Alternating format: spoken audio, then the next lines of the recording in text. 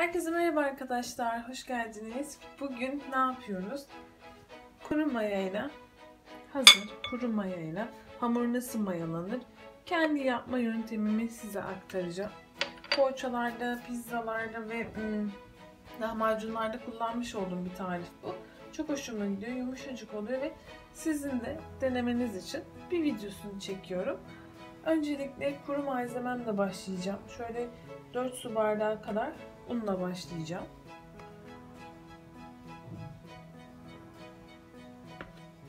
Unumu koyuyorum.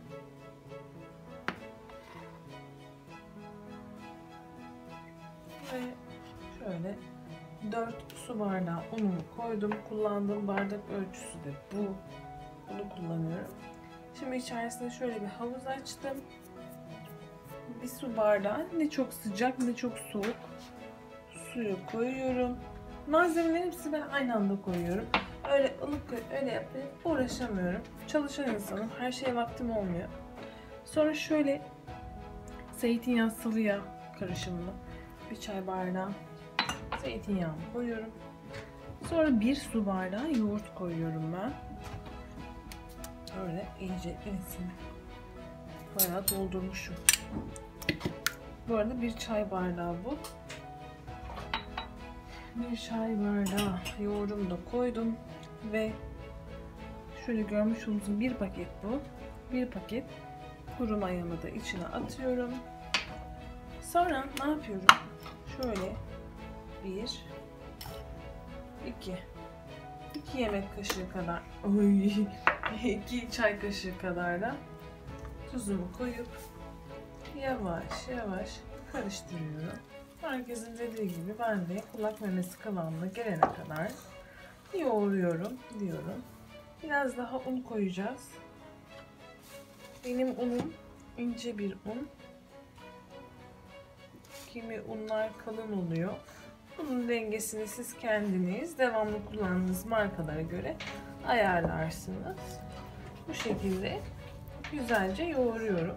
Bazen çok acil misafirimiz geliyor ya da hafta sonu böyle canınız hamur işte bir şeyler çektiği zaman evde mutlaka kuru maya bulundurun.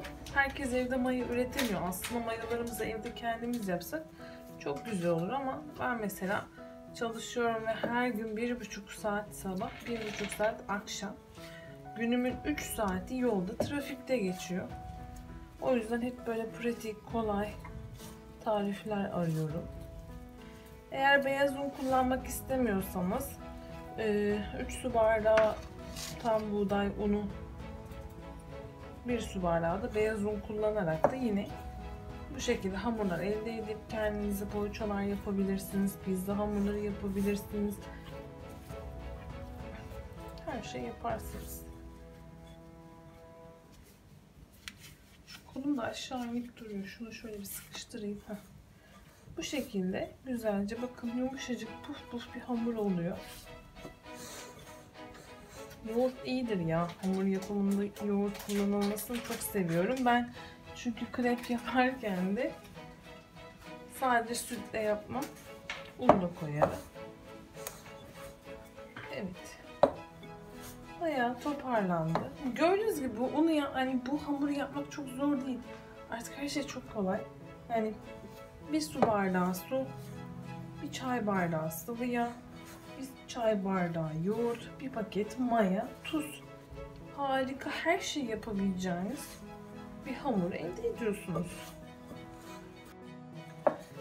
Evet hamurum artık hazır. Gördüğünüz gibi hiç unun istemiyor. Gayet güzel bir hamurum oldu. Şimdi bunun üzerine örtüp mayalanmaya bırakacağım. Üzerine biraz daha şöyle un serpeyim. Benim bu yaptığım 4-5 bardak unu buldu. Dediğim gibi onun ince bir un, sık elenmiş bir undu. Bunun üzerine örtüp kabarana kadar dinlendireceğim. Tabi battaniyeye saracağım.